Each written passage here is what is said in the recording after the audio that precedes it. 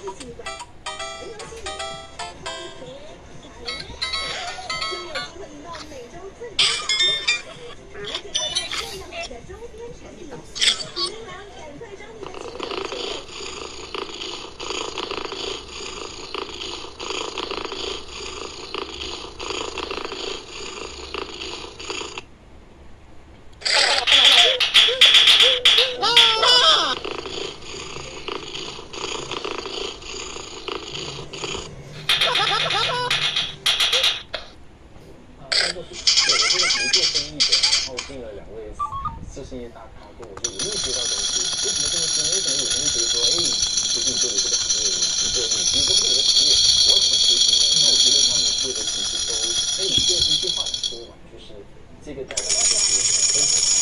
好像比如说我们在看抖音那个例子，就是在我们玩微信小程序的模型，然后你做的这个需求，然后其实你自己销售肯定的这个数求。但是如果你整个的成本的那一端，或者是你的这个……那你当然是很直接的认可的这个级你就会完全感受得到但是因为你的这个牛皮的来源本来就不一样。那比如说它是通过这样子的传递然后你能够把那个东西给散发掉。好啦有人就说诶这是大家各个牛皮卖的都是一样嘛对吧？那你到最后也因为可能买不起你一样会有这层的问题。好那我个非常的东西就不值得吹其实也在于你的这个销售链那一块。其实如果你做的是一个出口市场，因为马币贬值，就会成本高，因为你做的出口，你卖的是低的嘛？所以你是赚回来的基本上，你那个盘就会被抵消掉，这个叫做 natural hedging。所以这个也是你在做这个这个销售端的时候，对国内的、对国外的，然后不同的这个客户，你在炒市场这个零售方式，你就然后再说的一样东西，你知道买家家居，它很多不是直接做品，它基本上是一个代工，代工手工，它就是一个。受限定制，对一个天花板。所以我觉得他一回到大家对你这个品牌的这个认知，其实品牌本身就是一个负面，大家愿意付出这个。